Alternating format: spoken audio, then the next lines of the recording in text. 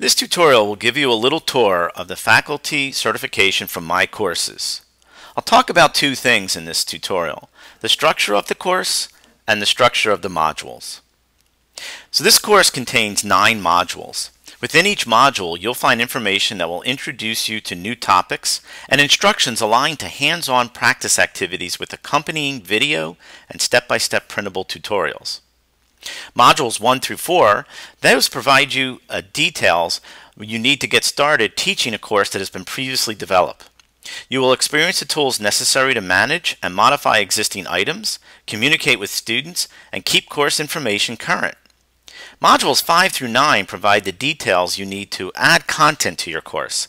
This includes customizing your gradebook and creating assessments like quizzes, discussions, and drop boxes. After Module 4, there is a module called Next Steps.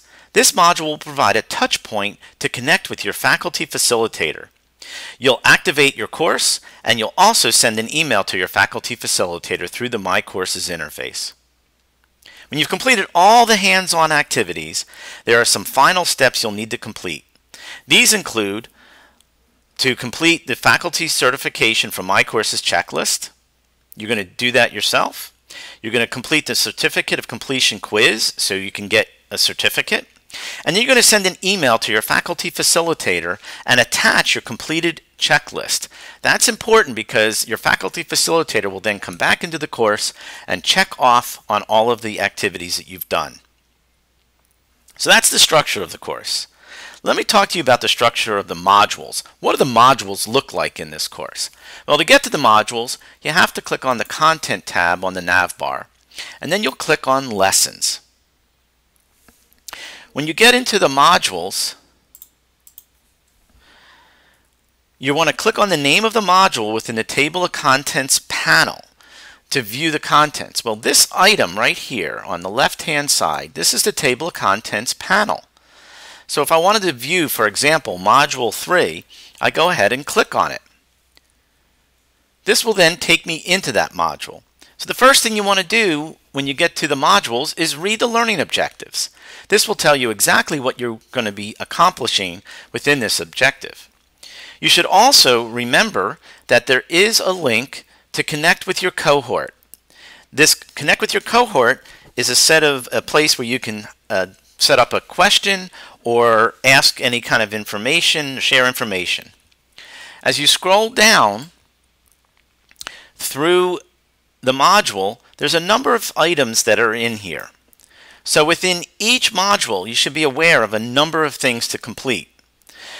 What you're going to see is a read a short description about what you would be doing. So in this particular case, um, I'm going to be reading this short description, and it's talking to me about navigating from a student perspective and achieving that. Then read this hands-on activity. Add the SPC demo student to your class list and view the course as an SPC demo student. So you're going to be doing all of this, all these activities right within your practice course. You don't have to go anywhere else. You'll see here that there is a video. Um, you could review the video or the step-by-step -step tutorial on how to complete these activities. And you may want to also review and print out the faculty certification for MyCourses checklist. That checklist is going to be residing in a number of places. So here's the checklist, and if I click on this, this should take me to the checklist, and I can open this up in Microsoft Word. It's a Word document, and you want to then go ahead and enable editing on the checklist. And this checklist will allow you to enter your, your name and the date, and then you can then checkbox the various things that you've done. And then you want to go ahead and save that onto your computer. So back to Module 3. So I can click on right here to add, how do I add a demo student? So I have these all of these printable guides and I can just simply click on print to print these and you will go through and complete that particular activity. You'll continue on because there may be more than one activity within any one module and complete the next activity. And again, you're going to be completing those activities and doing the items right within your practice course.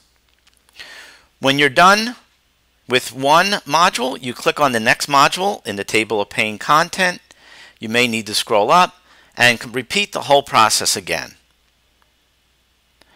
If at any time you have any questions or any concerns, please contact your faculty facilitator.